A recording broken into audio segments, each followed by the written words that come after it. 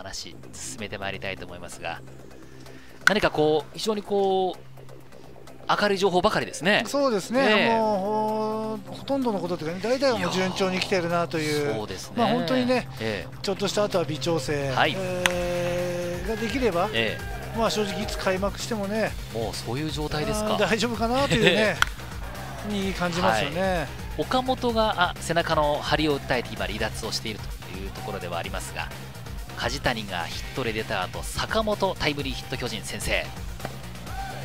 巨人の先発ピッチャーは戸郷。3イニングを投げて無失点。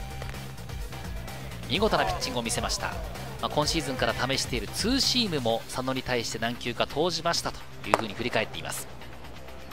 浜口は少し苦しいピッチングもありましたが4回まで投げまして1失点という投球内容でした。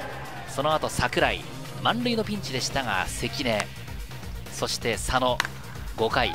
これが高橋さん、そのヒット3本で満塁のチャンスでしたが、得点がなかったというシーンでしたね。ねあのもう何かね、一つ加わればね、1点入るんですけどね、うん。えー、5回の裏、このジャイアンツは松原がレフトフライタッチアップで2塁から3塁進んで、そして、まあ、リードオフ大きいところ、戸柱も狙っていましたが、キャッチャー戸柱悪送球、2人が生還しまして追加点。というシーンでした。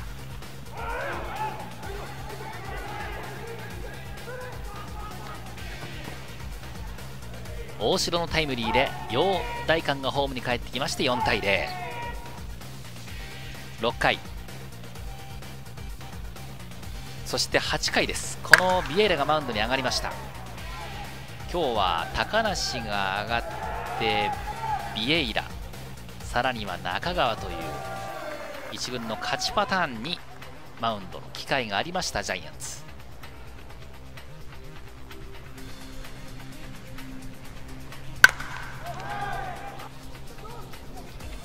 改めて、まあ、キャンプ、ここまで全日程を終えましたが、今シーズンに向けての高橋さん、期待をぜひ一言お願いします。いやもうね、はい、本当に順調にね、ね来てますし、はい、不安な部分というのはねあんまりないなというふうに思いますけども、あとはね、ね。ここからの1か月楽しみなのは、はい、あの若い選手というかね。ねえ。ーまあ、ファースト、セカンド、その辺のね、はい、ポジション争い、若手の競争というところがね、まあ、1か月楽しみかなと思いますね。そうですね。えー、ここまで解説お話は高橋由伸さんでした。どうもありがとうございました。ありがとうございました